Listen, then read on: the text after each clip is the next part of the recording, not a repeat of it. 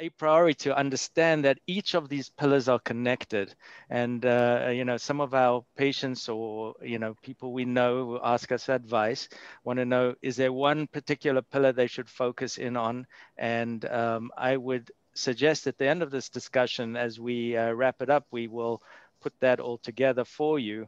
And uh, they're probably not mutually exclusive. So really the, the first uh, issue with exercise, I want to just make a case for why we exercise. And um, then we're going to talk a little bit about the barriers of exercise and uh, how that's been amplified by the, the COVID virus. And then we're going to wrap up uh, on some of my thoughts on uh, how to exercise. Okay, so that's the, the summary. Um, so why exercise? And, and really we think about exercise or the lack of exercise as an independent risk factor for, for all sorts of disease. And inactivity is detrimental to one's health. So physical health is improved tremendously with exercise and uh, we understand the science and the biology of this. And as I meet with each of my patients, I try to spend some time explaining why exercise is healthy. And the probably the most powerful physical attribute to exercise is this uh, improvement in metabolism, the improvement in uh, vascular health and the decrease in inflammation. And if, if I think about the common pathway to chronic disease like heart disease and vascular disease, or even cancer, uh, uh, inflammation seems to be the common pathway. And exercise is probably the most powerful way we can mitigate inflammation. So it helps with balance and proprioception. It helps with bone density. It helps with muscle tone and muscle mass. And these are the kinds of things that keep that protect you not only against disease, but against injury. Mental health is incredibly uh, uh, impacted by exercise. And, and we know that exercise over time in a regular basis not only helps your, your sense of health and, and a sense of self, but it also improves cognitive function and your ability to think clearly. Um, it, it's something that helps to refresh the system. And uh, when you exercise, you eliminate uh, toxic substances as well, and you utilize energy uh, and in, a, in a healthy way. Um, the exercise can also really help uh, with social uh, interactions and and uh, there's certain exercises that one can only do socially and there are other exercises that you can isolate yourself and actually escape from uh, the rest of your stressors as we'll we'll talk about uh, later but um, time away from our usual activities and and exercise can really be beneficial for the mental health so brian there's a question yes. if i can ask yes. you to come into the chat and that is is there a certain level of intensity of exercise? So we have a vast array of different people who are joining us today. Thank you all so much for being part of today. Is there a certain amount of time or a certain level of intensity help us understand that more. Yeah, so so excellent. Um, and that was getting a little bit uh, ahead of what I was going to talk about the how, the, the the how to exercise. But the why of exercise and different kinds of exercise will uh, uh, have impact on various aspects of our, our of our health. So when we talk to our patients who have coronary artery disease or vascular disease. We want sustained levels of activity. And I, I would say if, if there's ever a barrier to uh, physical activity, the concept of sustaining movement for a period of time, and the magic number seems to be about 15 minutes, because that's when the body starts releasing substances that decrease inflammation. You, you release nitric oxide and other kinds of uh, healthy uh, um, met metabolites that help to scavenge free radicals and help with the, the integrity or the health of the blood vessels and decrease inflammation. So 15 minutes, and then the frequency of exercise um, needs to be, there cannot be more than one day without exercise. So uh, when we think of the ideal, it's at least five days a week. And that way you're not skipping more than one day a week of exercise.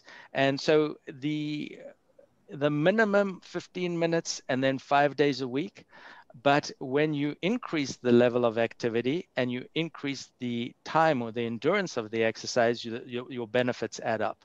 So if you're starting off in an exercise program, it's really important not to have this ideal that I'm going to spend an hour in the gym and I'm going to sweat uh, heavily and I'm going to push myself because that becomes a barrier. So if there's a notion of increasing your ability to exercise and, and uh, start off slowly, gradually, and and uh, increase over time.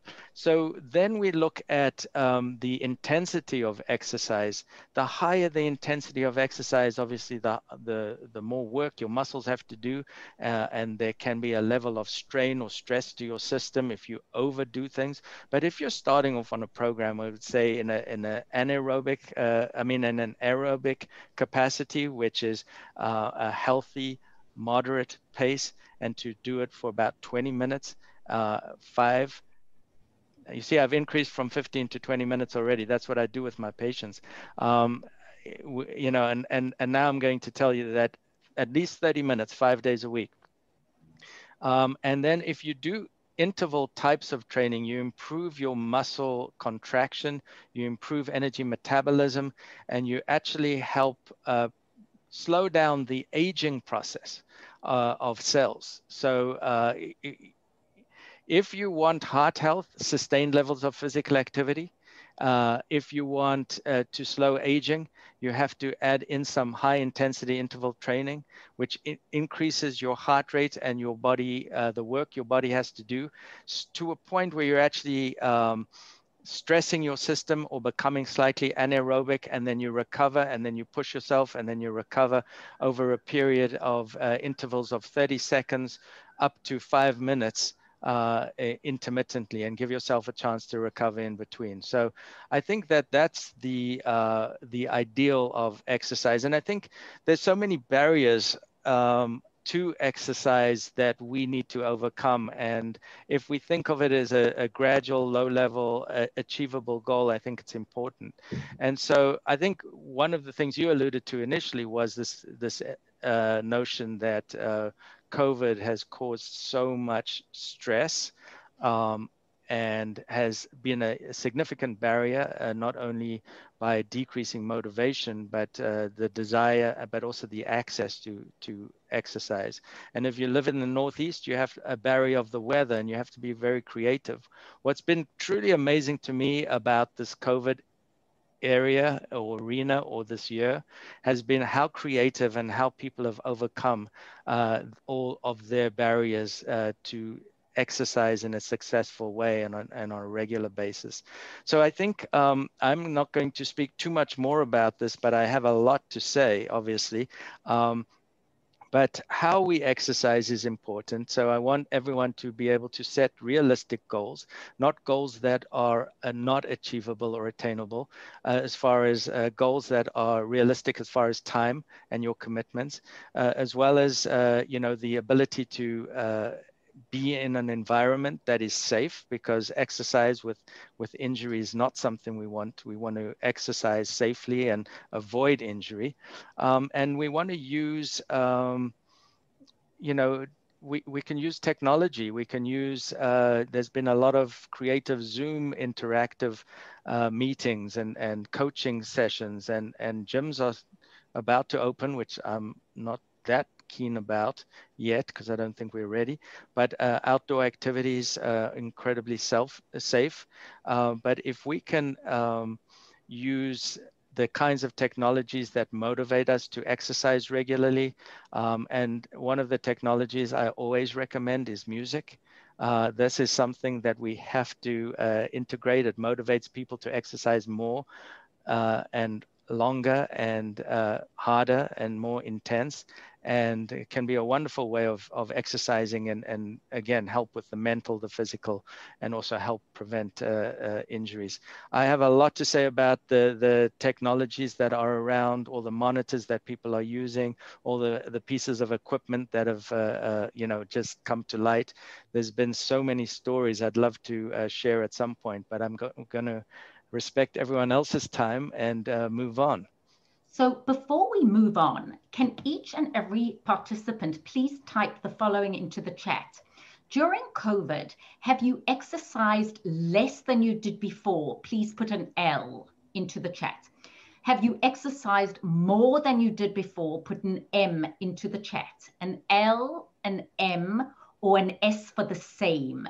Some people are more, some people are less, and it's the same. Some people are less, some people are more than some people are the same. Thank you for letting us know because some of you during COVID, you've just gone on and do the some things. For a lot of people worldwide, they say you're going to emerge as a chunk or in a funk or a drunk. But I see a lot of people are the same, some people are more. Thank you for letting us know. Thank you for your input. More, some people less. I see we have a very active group here. Brian, there are a couple of questions that we'll come to at the end. So those of you who have got questions, we'll come to at the end, but we want to get onto Dr. Lee Lewis, who is going to be talking about another pillar and a very important one, and that is nutrition. So again, ask yourself, has your nutrition got better? This is rhetorical question.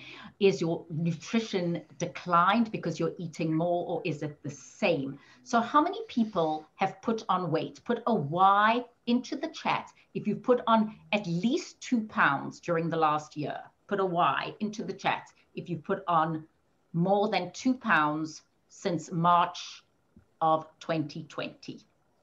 Thank you. Dr. Lewis, I know you're going to be talking not only about weight gain and loss, but nutrition, nutrition, nutrition, one of the pillars of well-being. Thank you, Nadia, and thank you for leading us off with that introduction because I would say in my experience with my patients, uh, some patients have been eating much, much better because the restaurants are closed and they're cooking more at home. Um, but a lot of patients are eating more of everything because they're working from home and working in proximity to their refrigerator and their pantry. And it is very difficult to resist the call of the pantry. And so I do want to talk about nutrition in general and for heart health. And I also want to talk about it as it affects all of us in the last 10 months and will continue to. So let me just share my screen for a moment here. And one thing I want to emphasize is these webinars are really about not just health, but also wellness. And when it comes to nutrition, there's two goals. Our goal is for you to be healthy, free of physical and mental disease, free of heart attack and free of stroke. But not only that, we'd love you to take it the next step and feel well. And, and my emphasis in pink there is on balance in your life, on vitality, enjoyment, finding meaning, and finding purpose. And it's not just about being free of disease, but it's also about feeling wonderful and feeling great. And the way nutrition plays into that is it's not just about weight loss. So my patients ask me, what's the best diet I can eat? And I ask them first, well, what's your goal? Because if your goal is weight loss, then it's a whole different conversation. And there are diets that promote weight loss, but that's not generally my goal for my patients. My goal for my patients is wellness. My goal is free of heart attack and stroke. My goal is energy, bowels moving well, general health, sleeping. And to that end, there's actually an answer to this question. And the answer is the Mediterranean style diet, which is a largely plant based, whole food, unprocessed diet is really the only diet that's been studied, and it's been studied in many, many studies all over the world in different populations people who've had heart attacks, people who have never had a heart attack, diabetics, non diabetics, high cholesterol. And over and over again, this diet has been shown to reduce the risk of heart attack and stroke by about 20 to 30%. And the diet consists primarily of it can be defined in different ways, but it's really the way that people eat along the Mediterranean coast. And it started out by observing that people in certain parts of the world tended to live longer, had fewer uh, cancer diagnoses, fewer heart attacks and strokes, and overall longevity was better. And so many people started to study what was it about that diet, lifestyle, climate, what was it? And it turns out a large part of that is, in fact, the way that people eat. And so at this pyramid that sort of summarizes the Mediterranean diet, You'll notice at the bottom, this isn't food, but it's about being physically active, as Brian was just talking about, and also about the ways that people eat. So enjoying meals with other people, sitting down, preparing them at home, etc. And then at the base of the pyramid, the bulk of the food should consist of grains, and a lot of people are on a low carb diet, which we'll get to later, but grains that are unprocessed. So the whole grain, so not white flour, which would be what's found in most muffins, cakes, breads, not white pasta, not white rice, but the whole grains, the unprocessed grains, so oatmeal, brown rice, whole wheat, etc. Fruits and vegetables, and a recent study just came out this week showing that three vegetables, three servings of vegetables and two servings of fruits a day seems to be the optimal for heart risk. And going above that doesn't necessarily give you a lot more benefit, which was good news for a lot of us who were trying to get to the five to nine servings a day, which can be really hard. So three servings of vegetables, generally speaking, the leafy, deep colored vegetables, not the peas and potatoes and corn, but the broccoli, lettuce, kale, peppers, that kind of vegetable. Three vegetables, two fruits a day. Also beans, nuts, legumes, seeds, and things like that with protein source being primarily, if it can be fish and seafood, and then to a lesser extent, poultry, and to a lesser extent, dairy products. And then at the top of the pyramid there would be red meats and sweets that have, you know, I never like to say never for any kind of food, everything in moderation, but really red meat and sweets have a small role. And again, we're talking about wellness and enjoyment of your food, and there's cultural and social aspects to food that might cause you to choose something at the top of the pyramid now and then, and that's totally fine. Um, water as the primary beverage and wine in moderation. So that would be sort of a summary of the Mediterranean eating habits that, sent, that, that actually do reduce risk. Um, and this summary slide looks at the, the biggest study of the Mediterranean diet that came out of Lyon, France, and it looked at cardiac death and heart attack and other related endpoints. And in study after study, the Mediterranean diet shown up here, the typical Western diet shown here, showed that the event free survival, so the percent of people who did not have an event, was statistically, significantly, greatly improved in people who followed a Mediterranean versus the typical Western diet. Okay, so thank you all. And that was brilliantly explained. And I think there's so many myths around should we be on low carbs or high carbs or keto? I just want to make sure for technical reasons, people are saying that Brian Bilchik is showing up as an active speaker. Is everybody seeing Dr. Lee Lewis now as she's speaking? I just want to make sure you're all seeing her beautiful face as she is speaking. Is everybody seeing her? Yes, yes, now. Excellent. Thank you. This is the joy of being in a technical space. Is we good? No. Margaret says no. Margaret, if you can't see us or you can't see her, go to the right hand side of your screen and where it says view, just put gallery view. It says that we may want to unspotlight, uh, remove spotlight from Dr. Bilchik for some reason. Is that better? Can you see everybody? Good. Yes, she and Brian look terrific. Thank you for that. So, of course, the advertising industry, Dr. Lewis, is out there telling us what we should and shouldn't eat. There's a very good Netflix series called Explained, and it explains weight loss in exactly the way you did and just how important it is that there's balance. And I think we are all so prone to thinking there's a quick fix, right? So, right. And, and again, if your goal is weight loss, then this conversation is really not about weight loss. And the Mediterranean diet has not been shown to promote weight loss, but you're absolutely right that if you are able to focus on intuitive eating, healthy patterns of eating, keeping your body active, very often weight loss will follow naturally. I just want to emphasize that that's not the goal. The goal is to put into your body what it needs to get through the day. What is the fuel your body needs? And every calorie is either a protein, a fat, or a carbohydrate. Every single calorie. And if you're going to get 1500, 1800 calories in a day, it's either going to come from protein, fat, or carbohydrate, or a mixture of those. So, what you want to do is have some of all of them, really, because proteins, you just want to choose a healthy protein. So, fish, nuts, beans, healthy fats. So, those would be plant, plant fats that uh, and, and fish fats. So, omega 3 uh, fatty acids are the healthiest kind of fat that's found in seafood. It's found in walnuts and nuts. And then fats that are liquid at room temperature, like olive oil, would be the healthier fats. And avoiding the solid fats at room temperature, which would be butter and cream cheese and sour cream and red meat. And then for carbs, there's healthy carbs and unhealthy carbs, and the healthy ones being the unprocessed whole grains. So having a balance of those three is really optimal for your microbiome, which is the gut bacteria, that determine so many things about our health, in, including our vascular health, including our cholesterol, including our mood and our sleep. So, finding a balance of foods that is both healthy and tasty, which was the next slide I was going to get to, is really it's a challenge for all of us. And I'm just going to show that slide because as the mother of a 12 year old boy and the wife of a picky husband, we're constantly trying to find this purple zone in there. And lots of people live in the pink where they don't really care if it's healthy or not, but it tastes good. And a lot of people live a lot in the blue where they don't care if it tastes good and it, they might hate it, but they force down the oatmeal and the green tea, hoping that it's going to bring them health.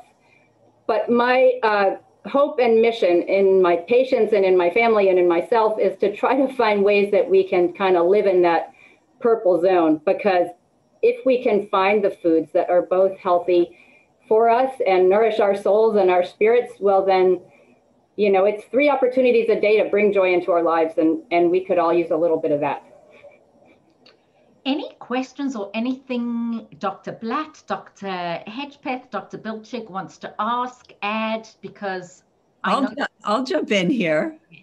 Um, because I, I love that slide, Dara, and I, I really think it's important for us to really be enjoying the things we eat and not feel tortured by our diet. Yeah. Um, and and the D word is really a four letter word, so I, I try to avoid that with all the patients. I think um, you hit on a really important note about the Mediterranean diet when you were talking about healthy fats, right? And that's why the Mediterranean diet was successful and a low fat diet really failed, right? So in the Mediterranean diet, they added in a liter of uh, olive oil, right, was sent to each study participant. They had a liter a week to use, as, as well as a, another uh, arm had extra walnuts um, and almonds delivered to them. So this is a, more of a high fat diet compared to what we typically think of as a restricted diet. So um, we should be enjoying the things we eat. And then the other point I, I just wanted to um, to say is that the the micronutrients are so important too right and so when we have a plate that's like very colorful and tasty and we're looking forward to eating it right? We're doing more than just those macros right? It's all these elements uh, and minerals that we're really deprived of in uh, a more packaged diet. So um, thank you yeah. for that overview. I think no, thank you. And, and to touch on the olive oil piece the fat in your diet so for example olive oil poured on top of steamed vegetables actually helps you absorb a lot of the phytonutrients and the antioxidants. So a plate of steamed vegetables with no fat at all, you're actually missing out on not only the fat soluble vitamins, but a lot of the uh, fat soluble antioxidants. So for people who sort of came of age in the era of the, the low fat, high carb, SnackWell, chocolate chip cookies kind of thing, that turned out to be a disaster and it was largely promoted by the food industry and the sugar industry to try to get people off of carbs but replacing it, I mean, sorry, off of fats and replacing it with refined carbs and sugar, which turned out to promote a lot of obesity, a lot of inflammation, a lot of glucose intolerance, and diabetes. So I do actually want to ask you, Alyson, a quick question before we move on, which is a study came out this week, and it was just in the New England Journal of Medicine, and it showed that people who ate a low glycemic index diet had a lower risk of heart attack and stroke than people who ate high glycemic index processed foods. And can you explain what does that mean, a glycemic index, and how does that play into this whole conversation about carbs and fats and how what kinds of choices it should uh, push us towards?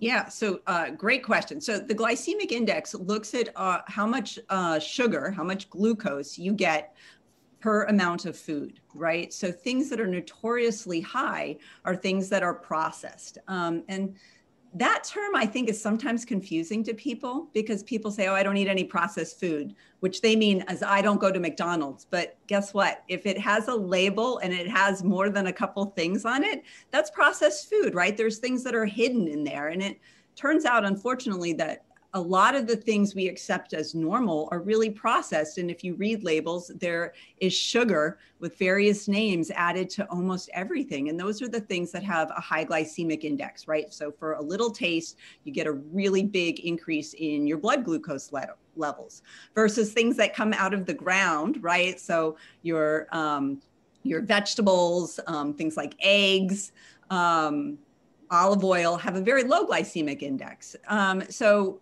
so that's really highlights the importance of eating things that are unprocessed and paying attention to those labels um, if you do really enjoy you know your pantry and your packaged food but then you just have to be smart about making sure your choices um, really contain the things that you think you're eating.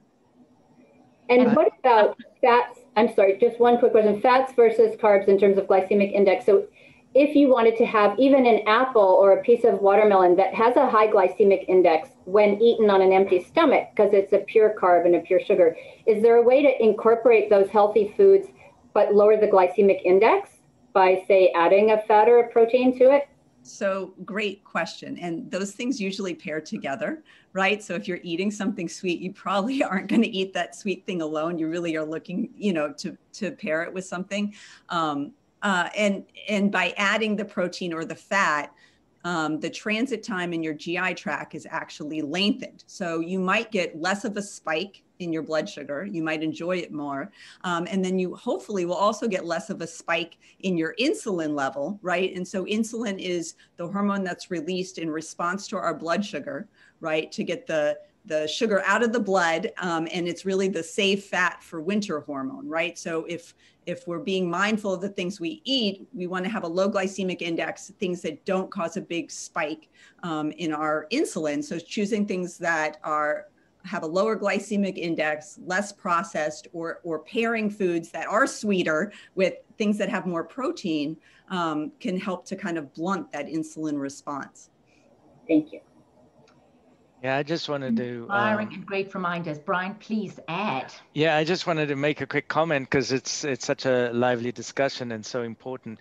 Couple of comments. One is uh, we've done several webinars uh, over the year that are available on our website for people to listen to, and several of them have been by nutritionists and, and a, a, lively discussion about, you know, the pros and cons of different uh, nutritional plans.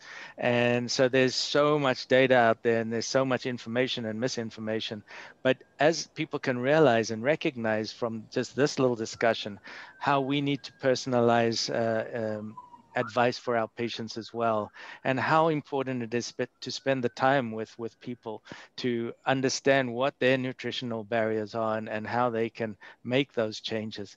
Because uh, you know at the end of the day and when hopefully we get time to kind of meld all of these pillars together the nutrition and the exercise and, and the understanding and the whys and the whats because for some people it becomes so complex that it it, it creates a a um, you know inertia, uh, uh, people get crippled by the amount of information and so they can't do it. And so sometimes for some people, we have to really simplify things and make it much more attainable and achievable. So I just, just wanted to uh, bring that forward because we have so much information to give. So we've got lots of webinars coming up as well.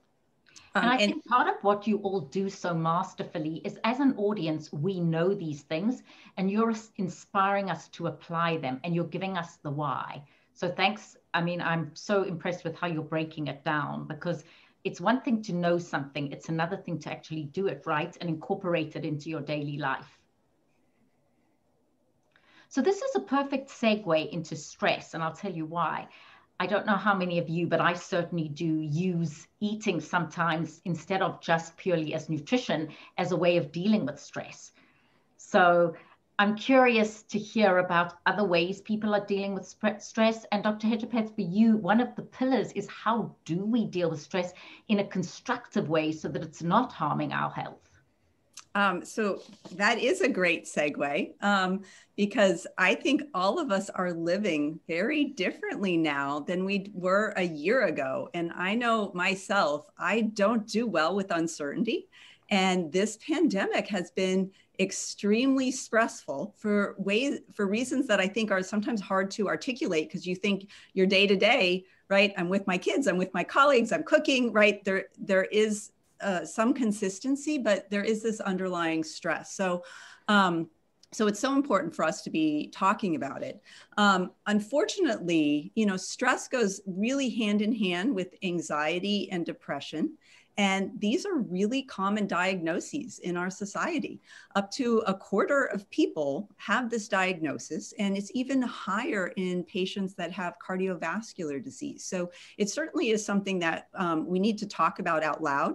Um, we need to acknowledge that a lot of times you might feel down or blue um, and uh, you're not feeling happy. Um, and you don't want to just um, hide that fact and ignore how you're feeling. I think we need really um, more advanced coping strategies to understand that. So when I think about stress, um, I'm kind of uh, trying to simplify it and think about our nervous system, right? So it's really our sympathetic nervous system and our parasympathetic nervous system. So the sympathetic nervous system is the fight or flight, right? I'm going to be eaten by a tiger and I have to run.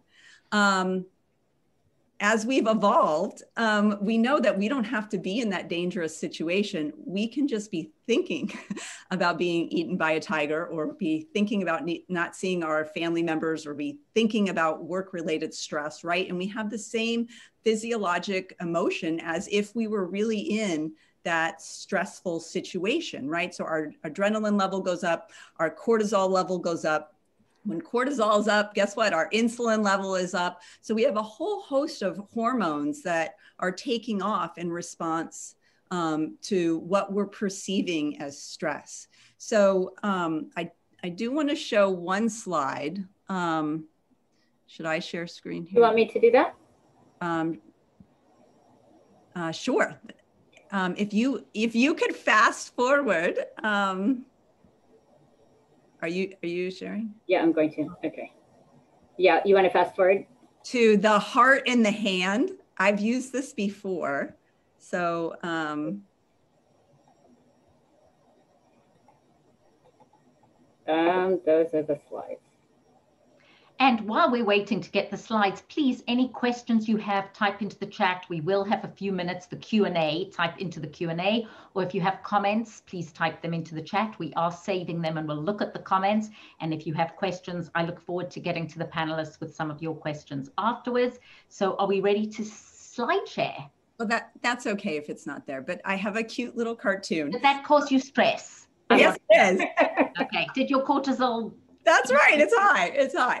I have a cute little slide of a heart walking with a brain. Yeah, I've got. Um, okay. And and I think that just to have this image in our minds is so important because our our brain is really controlling a lot of our cardiovascular response and here the heart's leading the brain, and it really should be the other way around. But the more tools that we have to really control our emotions and understand our stress, I think gives us really tremendous ability um, to take back control uh, over stress and its cardiovascular um, implications. I, I want to just share um, one study with everybody because you know I want you to walk away feeling like we really talked about some science today. Um, there's a researcher in Stanford, Dr. Sapolsky, who's in the neuroscience division um, there. And he did some sleep studies in uh, young, healthy people and looked at their cortisol level. So the first group, he said, We're going to wake you up at 4 a.m., go to sleep. And so at 3 a.m., they had this nice increase in their cortisol level. Cortisol is the get ready for um, the day hormone as well. So all of us have a natural spike in the morning, but it certainly goes up it, when we're anticipating things, right? The next night, he said, I am going to wake you up, but I'm not going to tell you when. And guess what? The cortisol level stayed up for the entire night. So I just want to highlight that this past year, I think all of us are living in this kind of heightened state of awareness. Um, and being aware of that and, and finding strategies to release your stress is really important, which is a nice tie back to Dr. Bilchik's lecture on exercise, because we also have some really good science saying that exercise is one of the most powerful medications we have to combat stress, anxiety, and even depression. When studied head to head with the use of certain antidepressants, exercise did just as well. So, for all of you that um, feel a little bit of the stress from um, the way we've been living this year, I think there, there is hope um, for all of us to, to, to gain control over our um, emotions.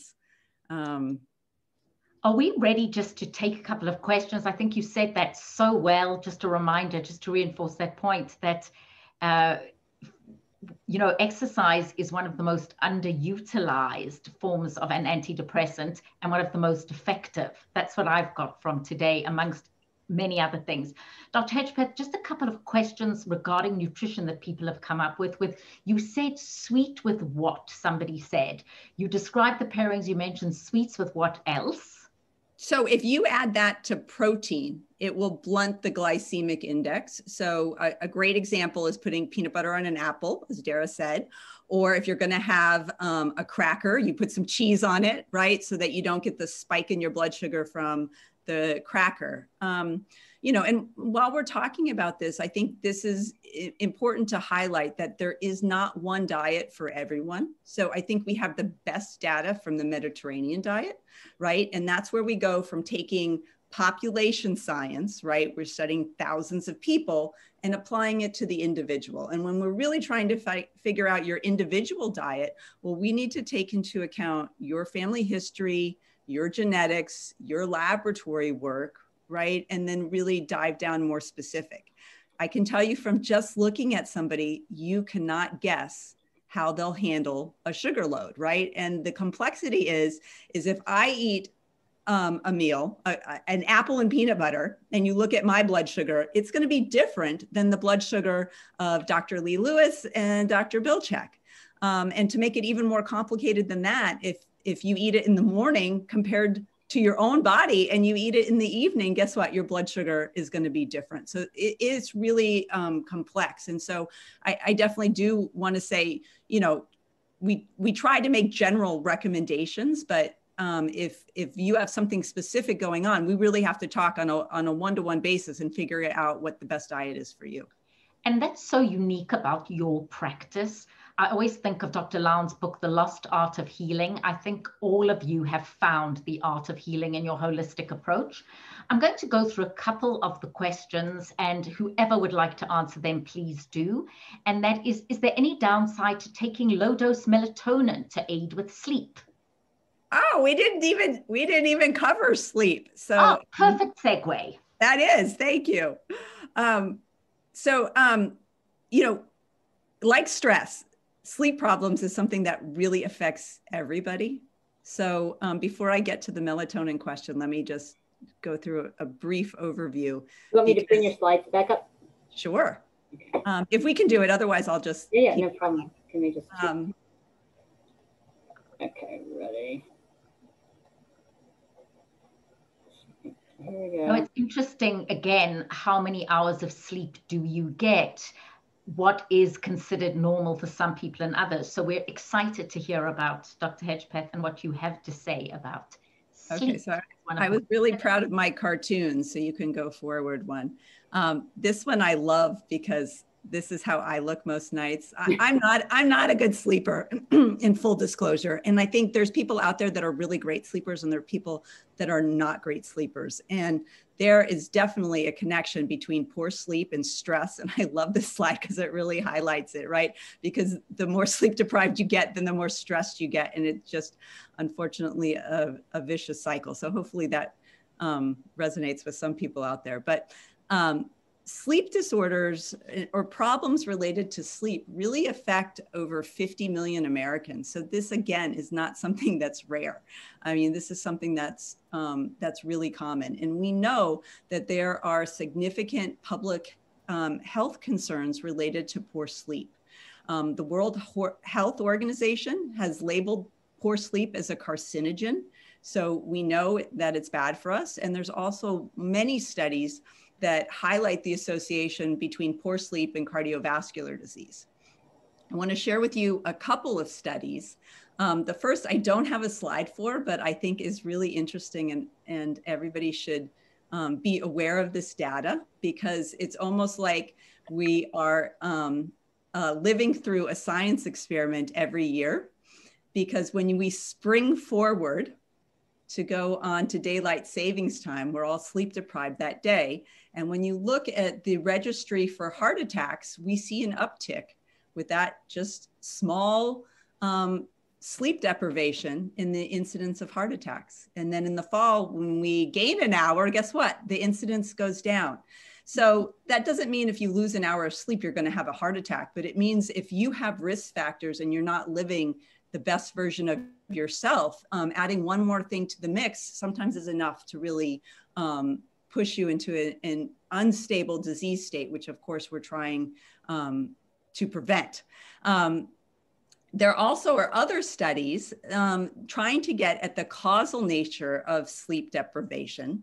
And that was the slide that was up there. So I don't know yep. how easy it is to share that again. If, if not, I'll just keep talking. Hopefully people are understanding what I'm saying.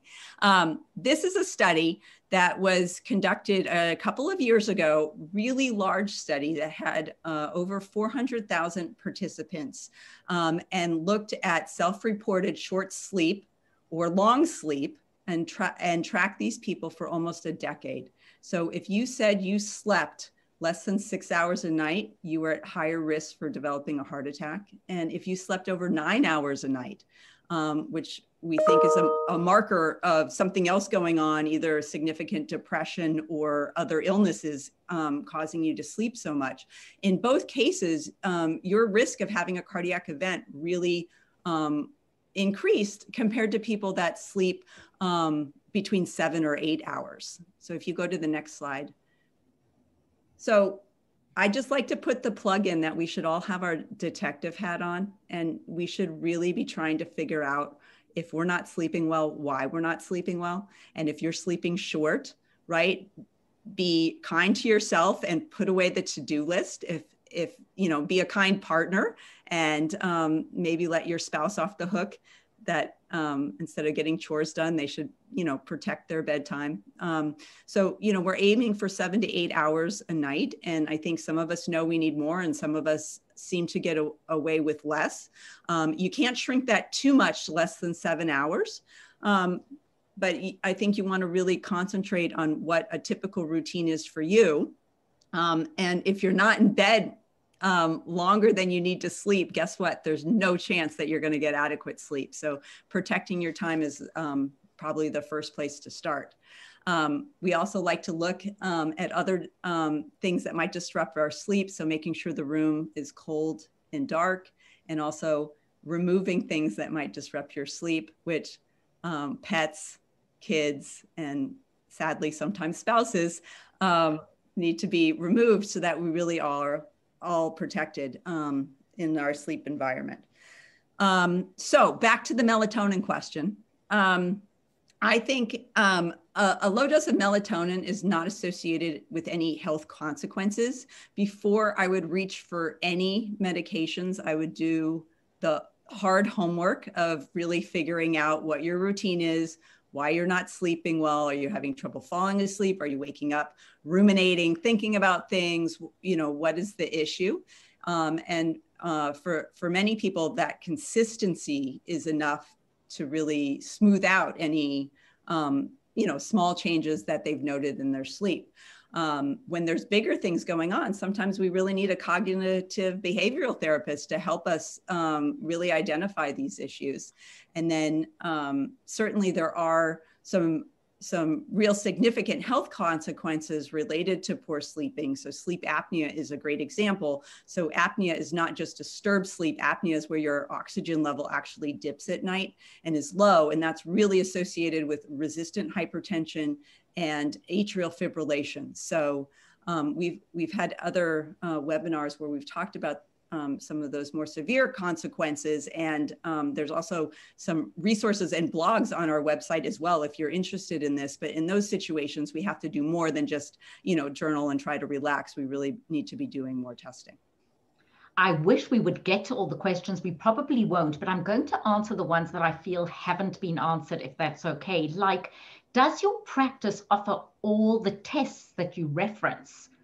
So I'll I'll address that. I, I think what's so interesting about our current time is that we're in a very exciting exploration of uh, risk factor uh, uh, identification and management and, and what we call personalized medicine, whether it's a, genetic kind of test or uh, individual lipid testing or personalized, uh, you know, uh, interventions. So we actually do offer a whole lot of uh, personalized uh, evaluations and testing and counseling in this regard.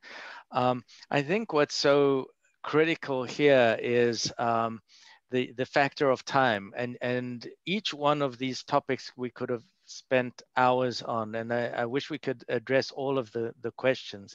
What's intriguing to me is, um, you know, we, we're living in an era of COVID COVID has killed over 500,000 people. Way more people have died from heart disease. So we have to keep, put that in uh, perspective and keep that into in, in perspective. So heart disease and chronic disease is still the number one major killer. And the other uh, factor is that we've had so much technological advancement that there was an improvement in lifespan, but now that has plateaued and actually started to dip a little bit. And so what are the areas that still need a, a lot of attention? And, and this risk factor modification, these four pillars are essential as we think about each individual patient and the individualized therapies and, and interventions for them. So uh, we uh, have a very comprehensive uh, uh, practice, as most of the audience knows. We uh, do a lot of one-on-one -on -one, uh, evaluation and history taking, and a lot of the uh, data is attained from the history, the physical examination. We resort to testing uh, when necessary, and we only use testing when we know what we're going to do with the results. We've got a, a full non-invasive testing facility here, but we also have the ability to do all these more advanced personalized lipid testing and other uh, uh, in, interventions, looking at uh, body habitus, for example, and, and muscle uh, fat ratios, and, and seeing how different interventions, whether it's nutrition or exercise, can modify that. The other thing I want to say, and this will be the last thing I say, is that many people have asked uh, the question about what to start first. Should I do all, can I deal with all of these things together or is there a priority?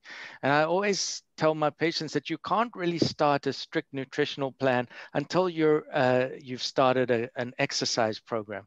I feel that is the primal uh, uh, intervention that one has to have because when you're feeling stronger and healthier, you're able to make better choices. It's very hard to change your diet and how you feel and then have the energy to kind of get into an exercise program. But you cannot lose weight with exercise.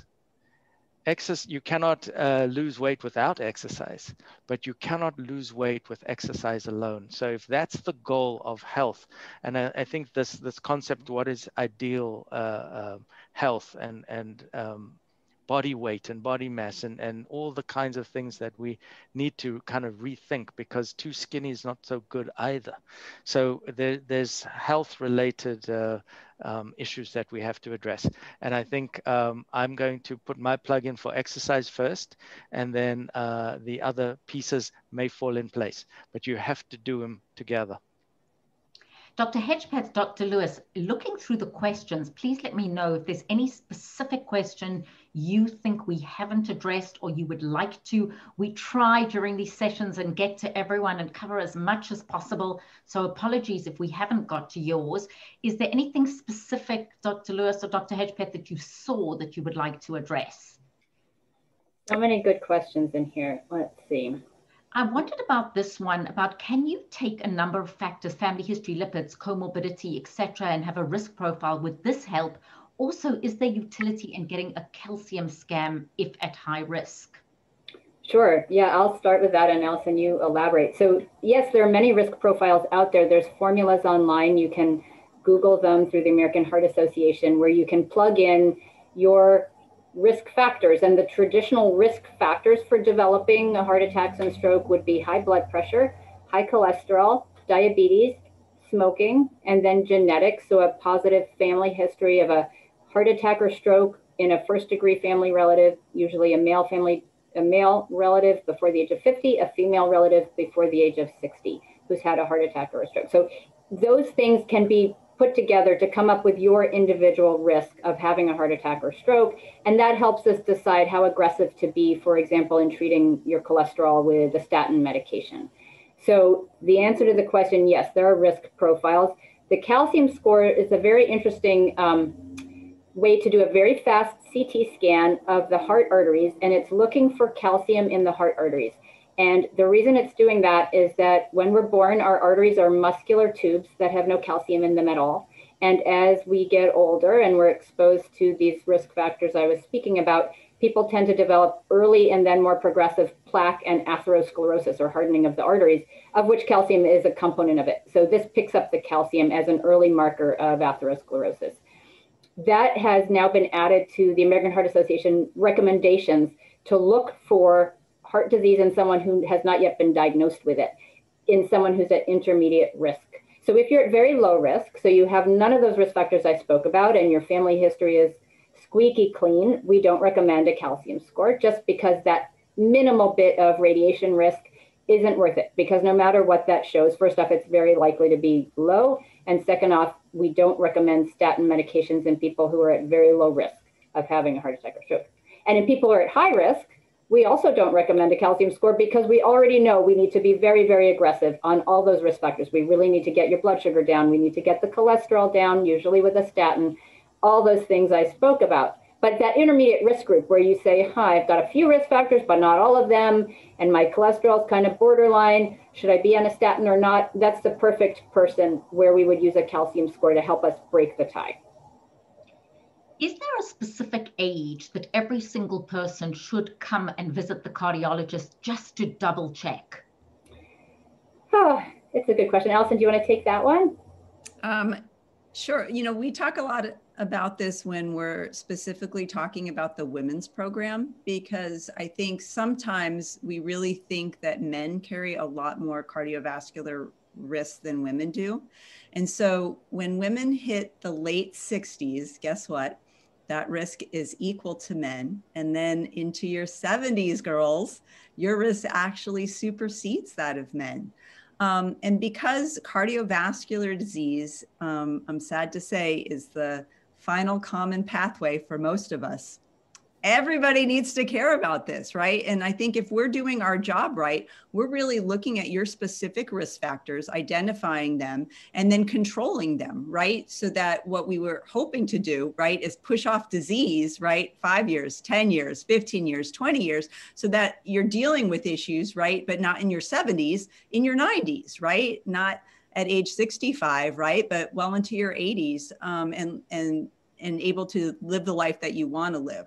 Um, in order to do that, you really have to know your specific risks. So I think that's where doing the lipid panel, using the calculators, doing advanced imaging, which is sometimes that calcium score, and sometimes it's um, it's even more sophisticated imaging. But it really depends on you know the specifics of each individual. I want to just make a quick comment quick okay. comment about that and I, I, don't think you can start too soon to risk factor modify and and uh, there's something called primordial prevention so uh, we know that uh, babies born uh, from moms who haven't taken good care of themselves are much higher risk for uh, chronic disease and atherosclerosis as they age and so i would say uh, since we only see people over the age of 16 that uh, that's when they should see their cardiologist for prevention. Um, you know, you don't want to wait too late. Primary prevention is much more challenging than secondary prevention. In other words, when someone's already had a cardiac event, it's easy to motivate people to make healthier choices and better behaviors. But the younger you can get those healthier habits, and here's the thing I would say also important is modeling. So if you have children or grandchildren and you don't model healthy behaviors, you're not helping them and, and you're increasing their risk of uh, atherosclerosis and, and cardiovascular disease and chronic illness as they age. So I, don't, I just don't think you can start too soon. on a very practical note, people are going, Do I come into the office? Don't I? Can you tell us about your group? And I know you are open for business with all the health measures in place, but for those of us who are going, Yes, we need to book an appointment now. Yeah, so I, will I'll make a quick comment about this. So I, I feel like the uh, the state is opening way too quickly. I think we're at a point where we really need to vaccinate a lot more people, um, and um, unfortunately, the distribution of vaccines, as everyone knows, has been a, a very frustrating process.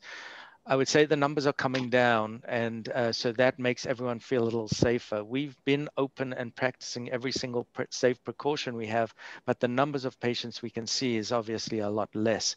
Uh, but that gives me people more time to spend, um, and I think the opportunity to uh, see people in person, but also to uh, uh consult virtually like this and, and be able to uh, speak without a mask is very, very healthful as well. So um, we, um, you know, our staff all vaccinated. We are all uh, taking every precaution. Um, our air exchange is outstanding in the office. Um, we are doing stress tests and we are uh, following every single uh, safety precaution we can. We do the echocardiograms. Um, we're, we're protecting our patients, we're protecting our staff, and we, and I'm touching wood, we have not had one uh, event or concerning uh, feature at all. So I had the slide up with all the contact details, how we reach you. Uh, Dr. Lee Lewis, you may have more success than I did there. It is exactly four o'clock. So first of all, we want to thank each and every one of our remarkable doctors for joining us with their expertise today. I always say having all of you talk to us is one very expensive consultation. And here you had this beautiful advice and guidance um, because they are just a remarkable, remarkable group of individuals. And by the way, Dr. Lewis, Dr. Bilchik, and Dr. Hedgepeth, that comes through, it would be very difficult to choose which one of you to see. A final word from each of you as we continue to navigate COVID 19 and this rather uncertain time in our lives. So we'll go in alphabetical order. We will start with Alyson, then Brian, and then Dara. Um, thank you, everybody, for listening today. And, uh, you know, I just want to go full circle and come back to the exercise piece because Brian started with that. And I get asked all the time, what do I do if I don't like exercise? And I just want, you know, if, if that's you and you're listening, your homework is to go out and figure out a way that you can have fun with that. Because I hope it, it shows from this how important exercise is and that feeling connected and that, um, levity piece um, with the exercises is just as important, I think, as the exercise. So I'll end. Just slip in one more question before we get to you, Brian, and that is how does heart medication affect all four pedestals? So if you could answer that and give us our call to action, and then we'll go to Dara. So that's the uh, next uh, webinar because this was the non-pharmacologic uh, uh um, interventions for vascular health. Um, but yes, we we uh, utilize all the tools we can, including medications, and and we. Uh, there are a lot of good medications out there, and obviously there's a lot of concern about medications and side effects, uh, just like there are concerns about the vaccines and the potential uh, you know side effects and, and concerns about that. Um, I just want to uh, say that during uh, COVID, we've all had an opportunity to uh, experience uh, untold stress and our opportunity now as the light is at the end of the tunnel or we can see the light at the end of the tunnel is to uh, reflect on the year and then reset of how we can do better next uh, year, this year, with ourselves, with uh, with others, how important social networking is, and these interactions are, whether they're in person or virtual. There is benefit. I can't wait to give, uh, you know, uh, my friends and families hugs and uh, be able to uh, speak to them freely without wearing a mask. But I'm not sure when that will happen. So hang in there, uh, be patient, and set realistic goals. Dara? Yes, and I want to say thank you also to you, Nadia, to my wonderful colleagues, everyone for joining. And my take home message is just be kind to yourself, forgive yourself. We've all been through so much and we've done the best we can. So, moving forward, every choice we make about when to move, how to move, what we eat uh, is important. And we don't always make 100% of the right choices, but we do what we can, do the best you can. It really does pay off in terms of well being and health. And any way that we can help you achieve that, we want to be there to help you do it. And I'll end with a Charles Duhigg quote, and that is You make your habits, and your habits make you. And I ask each and every person after this webinar three things. What, as a result of what was shared today, do you want to stop doing? What do you want to start doing? And what do you want to continue doing? So, on behalf of the Lown Medical Cardiology Group, it has been a great pleasure. And we look forward to bringing you more information and looking at how we can help you get healthier as we navigate what we call VUCA times volatile, uncertain, complex, and ambiguous. Thank you all so much for joining us. Thank you. Thank you, Nadia.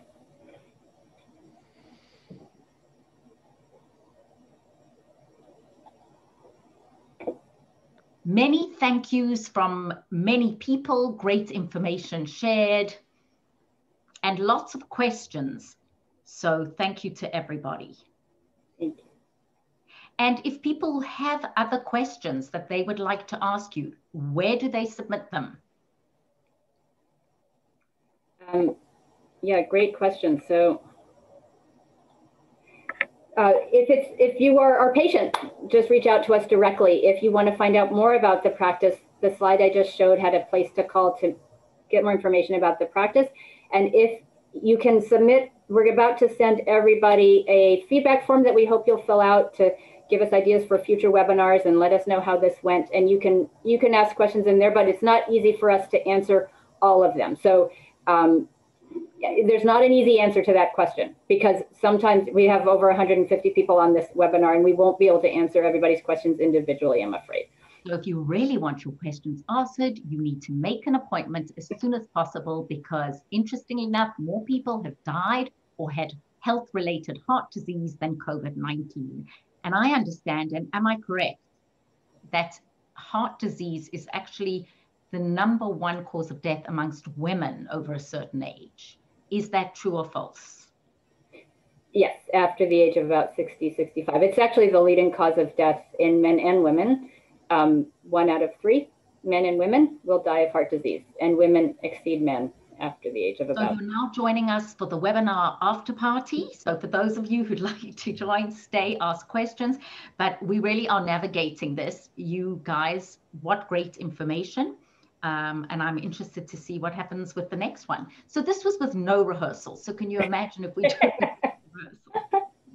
and I'll just tell everyone two weeks from today is our next webinar, and it's going to be on transcendental meditation. So, someone has suggested that meditation is one way without medications to improve stress and sleep. And I will say we'll find out more two weeks from today. So, thank you.